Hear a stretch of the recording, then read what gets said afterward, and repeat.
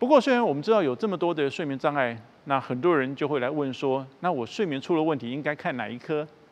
看精神科吗？看身心科吗？神经内科吗？胸腔科吗？其实都对，但也不见得尽然对，因为自己的睡眠还是要自己顾。很多人会认为说：哎，要了解自己睡眠的真相，一定要到睡眠中心去做一个睡眠的检查。那大家可以看到，这样的一个睡眠检查其实是非常繁复的，它需要靠很多的脑波的线、心脏图的线，然后的呼吸的线来定义一个人的睡眠。睡眠的检查只会用在有一些特殊睡眠疾病的诊断。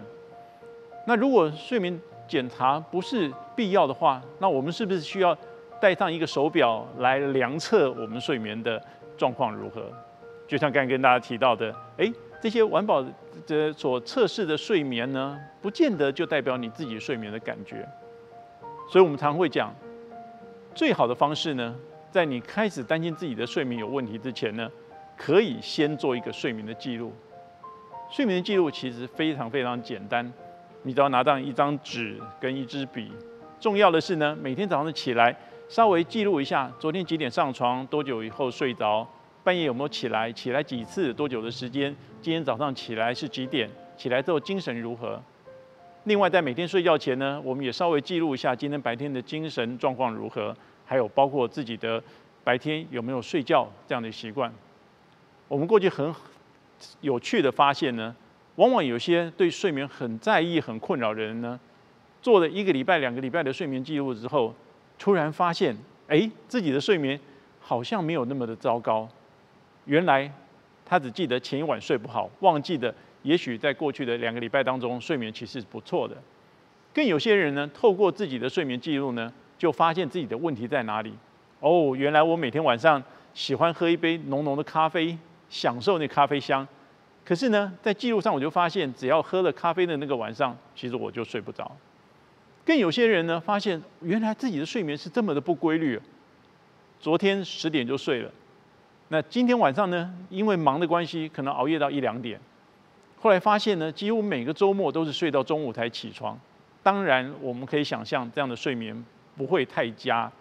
所以这样的一个失眠呢，事实上不见得是需要治疗的失眠，而是需要做生活调整的睡眠。所以，当我们检视了自己的睡眠，那有时候我们邀请睡在旁边的人告诉我们有没有打呼、有没有呼吸中止的问题呢？其实，呃，我们往往可以。比较对症下药，找到睡眠的问题在哪里。当然，睡眠的长度是大家很在意的，所以做这样的一个睡眠检视之后呢，也许我们会被这些数据所吓到，因为这是二零一五年美国呃一个非常大的公益组织国家睡眠基金会他们所做的文献的整理。我们可以对照看看我们睡多少，结果我们发现，就像刚才跟大家提起的，其实我们真的没有好好的善待我们的睡眠。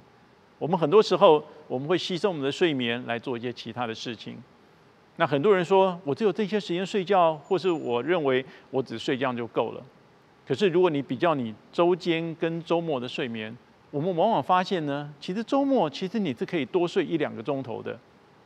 人的睡眠哈是有定量的，所以当我们周末可以睡或者需要再多睡一两个钟头，代表我们周末其实是在还我们平常日的睡眠债。